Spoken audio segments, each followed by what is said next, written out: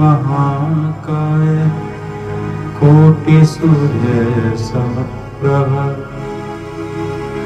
निर्विघ्नं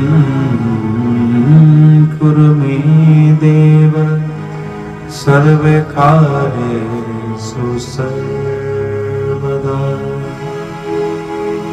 कृष्णाय वासुदेवाय हरये परमात्मने प्रणतक्लेशनाशाय गोविन्दाय नमो नमः या देवी सर्वभूतेषु कृपारूपेण संस्थिता नमस्तस्यै नमस्तस्यै नमस्तस्यै नमो नमः। बोलिए सतगुरुदेव भगवान की जय। बड़े प्रेम से बोलिए श्री राधा रानी सरकार की जय। प्रिय भक्तों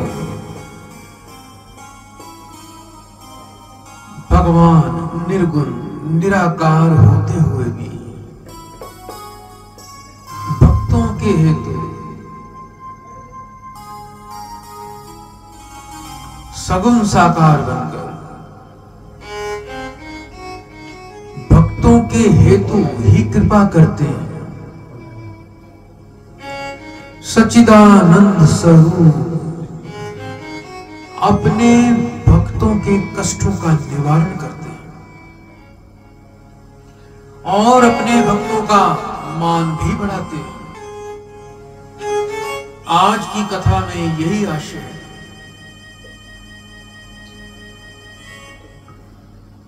नरसिंह भक्त को तो आप जानते ही होंगे। नरसिंह भक्त गुजरात प्रदेश के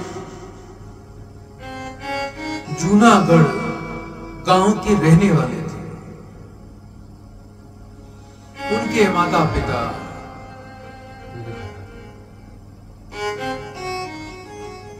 जब वो छोटी अवस्था में थे तो उनके माता पिता स्वर्गवासी हो गए।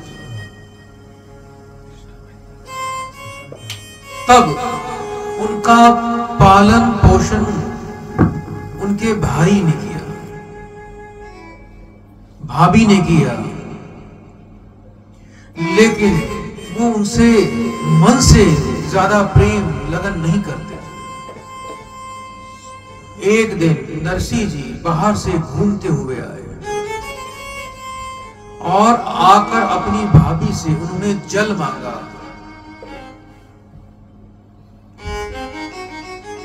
भाभी ने ये नहीं देखा कि देवर बहुत प्यासा है।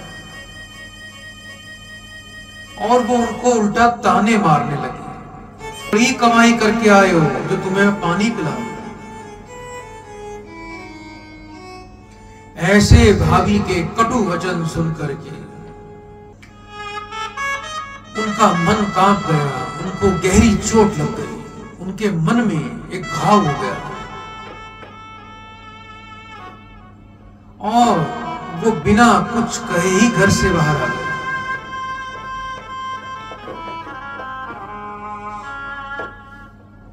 नगर के बाहर एक शिवालय था, जहाँ वो सात दिन तक भूखे प्यासे पड़े रहे।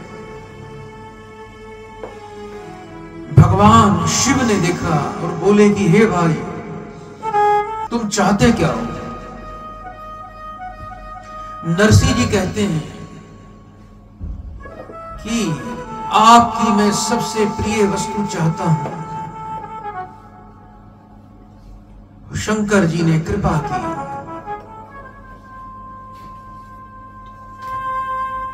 और रास राशेश्वर भगवान की, रास की एक झांकी प्रदान कर दी। बस फिर क्या था? नरसिंह जी, रास राशेश्वर जी के हो गए। रास राशेश्वर, जो स्वयं भगवान श्री कृष्ण थे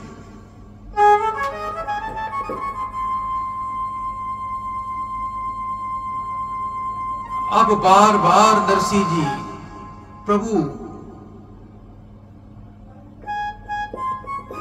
की रास लीला झांकी देखने को उत्सुक होने लगे, उनका मन करने लगा।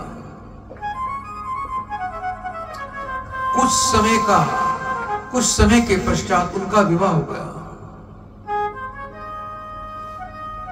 लेकिन भगवान के दर्शन की लालसा ने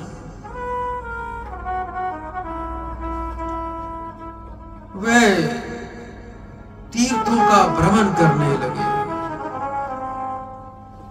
संतों के साथ रहना किसी भी वस्तु के अंदर ज़्यादा ध्यान केंद्रित नहीं करना, मन नहीं लगाना। और उन्होंने अपना वेश भी साधु जैसा बना लिया।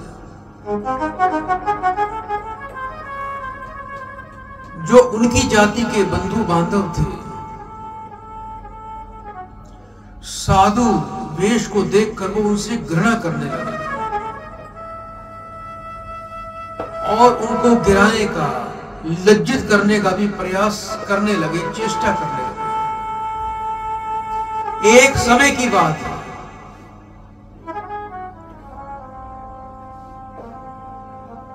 तीर्थाटन, यानी तीर्थ यात्रा करते हुए कुछ संत गाँव में पधारे।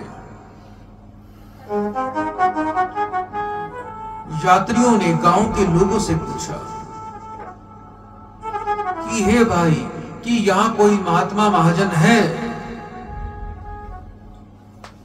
जो द्वारका के लिए हुंडी कर दे।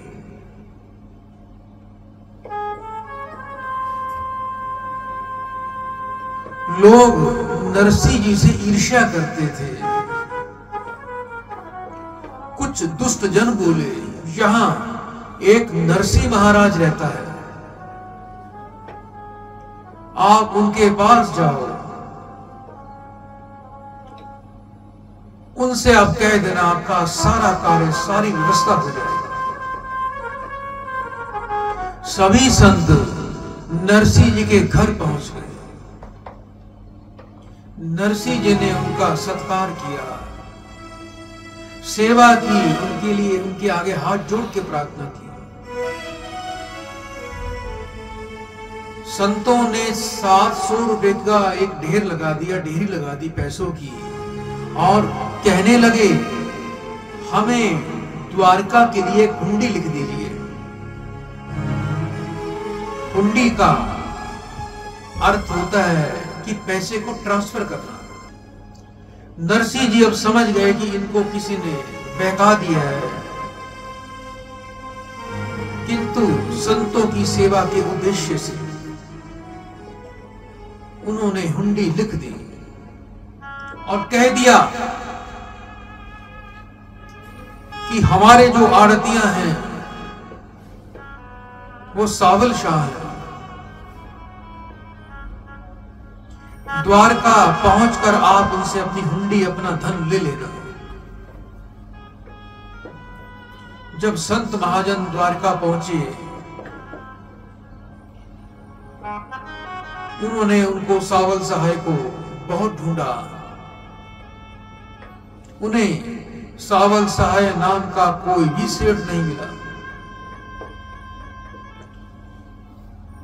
दुखी होकर सभी संत नगर के बाहर आकर बैठ गए। इधर भगवान श्री कृष्ण जी भक्तों की लाज को रखने वाले सांवलिया महाजन का रूप धारण कर लिया। और कंधे पर एक थैली रखकर और संतों के समक्ष प्रकट हो गए और कहने लगे, कि नरसिंह जी की हुंडी किसके पास है? कृपा करके हुंडी देके अपना धन ले लो। संत बोले, कि अच्छे आ गए आप तो। हम तो ढूंढ ढूंढ कर आपसे थक गए, आपको हार गए, यहाँ आके थक के बैठ गए। सावलिया जी ने कहा कि, हे भाई, मैं बड़ा शर्मिंदा हूँ। आपको रुपया मिलने में जो विलंब हुआ है, उसके लिए मैं तुमसे क्षमा माँगता हूँ। संतों ने नरसिंह जी को एक धन्यवाद पत्र लिखा। तो प्रिय भक्तों, इस प्रकार से सर्वेश्वर भगवान भक्तों के कार्य पूरे कर देते हैं, उनकी लाज रख लेते हैं और साकार रूप से भी कई बार प्रकट हो जाते हैं, हम उनको पहचान नहीं पाते हैं। हमारे जीवन में भी कई बार ऐसे व्यक्ति आ जाते हैं कि दुख संकट की घड़ी में वो परमात्मा के रूप होते हैं, हमारे कार्य बना देते हैं, हमारे संकट हर लेते हैं हमारे दुख हर लेते हैं, हमें हिम्मत दे देते हैं। बड़े प्रेम से बोले श्री वृंदावन बाके, बिहारी लाल की। जय हो।